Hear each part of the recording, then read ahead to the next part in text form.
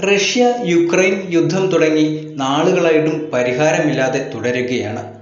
ലോകരാഷ്ട്രങ്ങൾ പലരും ഇടപെട്ടിട്ടും വിട്ടുകൊടുക്കില്ലെന്ന നിലപാടാണ് ഇരു രാഷ്ട്രങ്ങൾക്കും ഉള്ളത്. യുദ്ധം തുടരുന്നത് യൂറോപ്യൻ സാമ്പത്തിക മേഖലയെ അപ്പാടെ താളം തെറ്റിച്ചിട്ടുമുണ്ട്. ഇവിടെയാണ് ഇന്ത്യൻ പ്രധാനമന്ത്രി നരേന്ദ്രമോദി വീണ്ടും ലോകരാഷ്ട്രങ്ങളുടെ ശ്രദ്ധ പിടിച്ചുപറ്റാൻ പോകുന്നത്. പ്രധാനമന്ത്രി നരേന്ദ്രമോദി അടുത്ത മാസം യുക്രൈനിൽ സന്ദർശനം നടത്തുമെന്നാണ് ഏറ്റവും പുതിയ വാർത്തകൾ. ഓഗസ്റ്റ് ഇരുപത്തിമൂന്നിനാണ് സന്ദർശനം തീരുമാനിച്ചിരിക്കുന്നത്.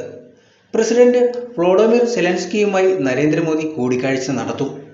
റഷ്യയുമായുള്ള യുദ്ധത്തിന് ശേഷം പ്രധാനമന്ത്രിയുടെ ആദ്യ യുക്രൈൻ സന്ദർശനമാണിത്. പ്രധാനമന്ത്രി മോദി റഷ്യ സന്ദർശിച്ച് പ്രസിഡന്റ് വ്ളാഡിമിർ പുടിനുമായി കൂടിക്കാഴ്ച നടത്തിയതിന് ദിവസങ്ങൾക്ക് ശേഷമാണ് ഈ സന്ദർശനം. മോദിയും റഷ്യൻ പ്രസിഡന്റ് വ്ളാഡിമിർ പുടിനും തമ്മിലുള്ള കൂടിക്കാഴ്ചയെ രൂക്ഷമായി സെലൻസ്കി വിമർശിച്ചിരുന്നു. മോദിയുടെ സന്ദർശനം ഏറെ നിരാശയുണ്ടാക്കിയെന്നും സമാധാന ശ്രമങ്ങൾക്ക് കനത്ത തിരിച്ചടിയാണെന്നുമായിരുന്നു സെലൻസ്കിയുടെ പ്രതികരണം. ഇതാദ്യമായാണ് മോദി യുക്രൈനിലെത്തുന്നത്.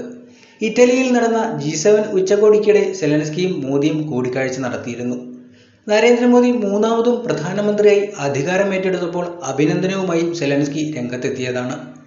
അതേസമയം മാസം ആദ്യം പ്രധാനമന്ത്രി റഷ്യയിൽ സന്ദർശനം നടത്തുന്നതിനിടെ ആണവോർജം കപ്പൽ നിർമ്മാണം തുടങ്ങി വിവിധ മേഖലകളിൽ സഹകരണം വർദ്ധിപ്പിക്കാൻ ഇരു രാജ്യങ്ങളും ധാരണയിലെത്തിയിരുന്നു. റഷ്യയും ഇന്ത്യയും തമ്മിലുള്ള ഉഭയകക്ഷി ബന്ധം പ്രോത്സാഹിപ്പിക്കുന്നതിൽ അസാധാരണമായ സേവനങ്ങൾക്ക് റഷ്യയുടെ പരമോന്നത സിവിലിയൻ ബഹുമതിയായ order of Saint Andrew the apostle പുരസ്കാരവും പ്രധാനമന്ത്രി മോദിക്ക് സമ്മാനിച്ചിരുന്നു. പുടിനുമായി നടത്തിയ ചർച്ചയിൽ യുക്രൈൻ യുദ്ധം സമവായത്തിലൂടെ തീർക്കുന്നതുൾപ്പെടെയുള്ള നിർണായക വിഷയങ്ങൾ മോദി ചർച്ച ചെയ്തിരുന്നു.